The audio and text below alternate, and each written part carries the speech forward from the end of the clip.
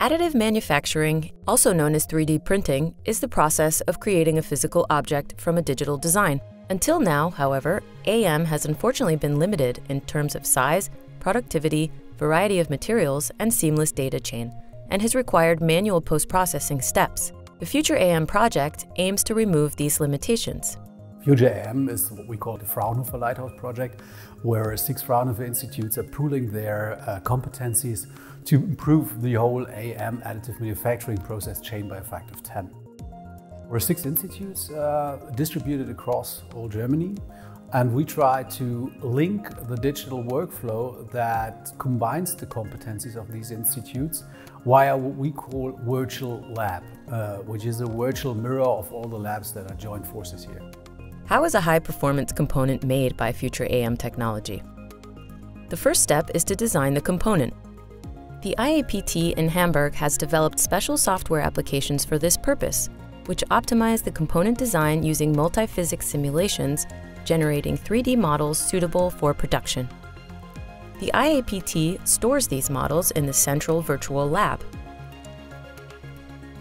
From there, IWS in Dresden can access the data and develop the appropriate materials for the component. The scientists at Fraunhofer IWS in Dresden design a tailor-made material system based on the component and its operating conditions.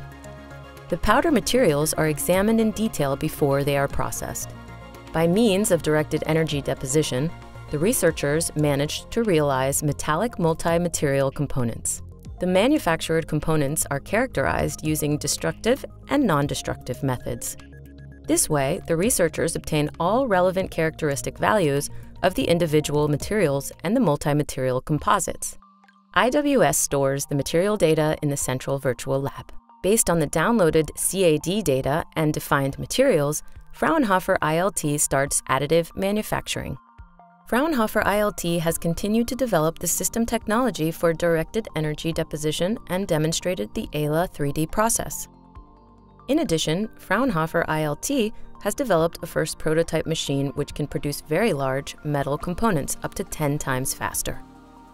The researchers succeeded in establishing a new machine architecture and optical system for parallelized laser processing. Fraunhofer ILT stores the machine and sensor data of the manufactured component in the virtual lab. In order to identify the physical component beyond any doubt and always be able to trace it, the scientists at Fraunhofer IWU Chemnitz and Dresden incorporate a code in it during production, which they can now read out. It also ensures efficient and trouble-free copy protection. For the subsequent component-specific post-processing, the geometry of the component is recorded by laser scanners and transferred to a 3D model. The optimum processing strategy is derived based on the comparison of target and actual geometry. Processing is carried out automatically by a robot and is then verified by renewed 3D scans. After post-processing at IWU in Dresden, the component is finished. Component-specific data such as surface condition and actual geometry is stored in the virtual lab. The transfer of technological progress into industrial practice is one of our core goals at Fraunhofer. Together, the Future AM partners have made a significant leap into a new generation of AM technologies, which are now ready to be transferred.